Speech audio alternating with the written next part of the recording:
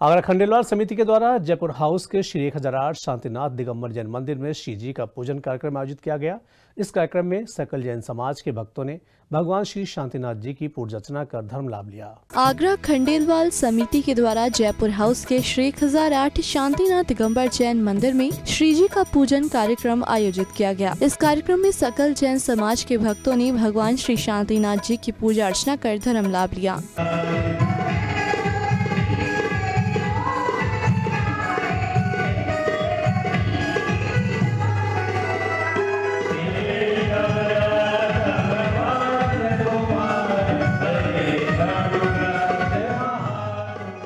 आगरा खंडेलवाल समिति के अध्यक्ष निर्मल मोठिया ने बताया कि समाज के लोगों में समरसता बनाए रखने के लिए समिति महीने में एक बार शहर के किसी न किसी जिनाले में सामूहिक पूजन कार्यक्रम का आयोजन करेगी। इस कार्यक्रम की शुरुआत जयपुर हाउस के श्री एक हज़ार आठ शांतिनाथ दिगम्बर जैन मंदिर से हुई है।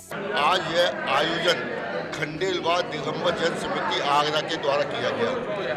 यह हमारा उद्देश्य था कि लोग खंडेवा समाज के लोग मंदिर में अधिक से अधिक आए और सामाजिक एकता के लिए, लोगों के मिलने के लिए हम लोग इकट्ठे हों और हमारी धार्मिक रुचि भी बढ़े, जिसमें कि बच्चे, बूढ़े, पुरुष, महिलाएँ शामिल हों। इसके, इससे हमें बड़ा फ़ायदा पहले भी हमने लगभग दो साल तक किया था।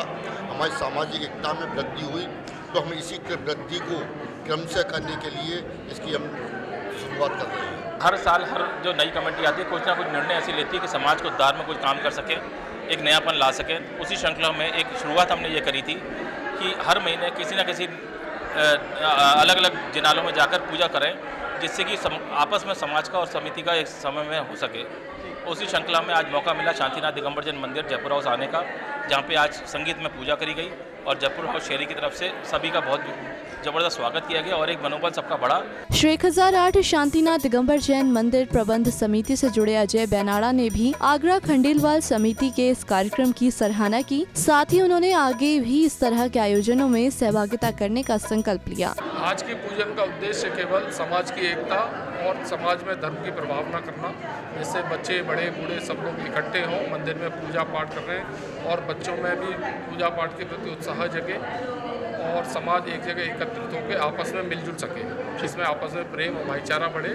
श्री जी के सामूहिक पूजन कार्यक्रम में श्री एक हज़ार आठ शांतिनाथ दिगम्बर जैन मंदिर समिति से जुड़े लोगों का सहयोग रहा। सी न्यूज़ के लिए अजय बहादुर की रिपोर्ट।